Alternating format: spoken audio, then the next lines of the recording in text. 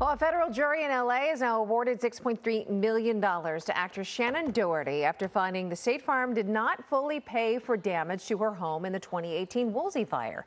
Doherty's attorney says that verdict to send a message businesses cannot forget that they're dealing with human beings.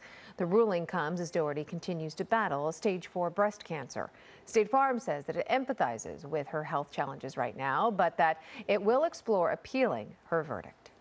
Hello, I'm Mark Brown. Get more great ABC7 content by clicking the subscribe button for our YouTube channel and download the ABC7 Los Angeles streaming app on Fire TV, Android TV, Apple TV, and Roku to watch on your TV.